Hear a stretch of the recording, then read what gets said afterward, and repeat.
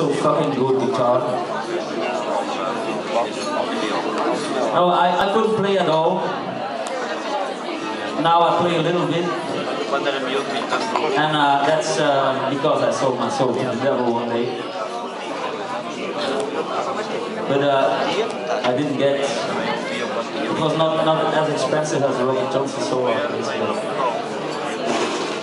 Anyhow, this is my story, my standing at the crossroads.